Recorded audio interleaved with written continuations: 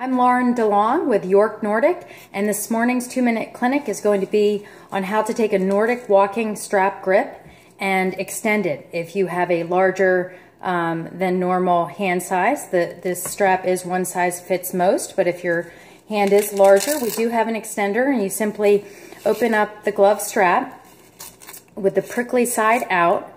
And we take the extender, which has both a soft tab at the end as well as a longer prickly section.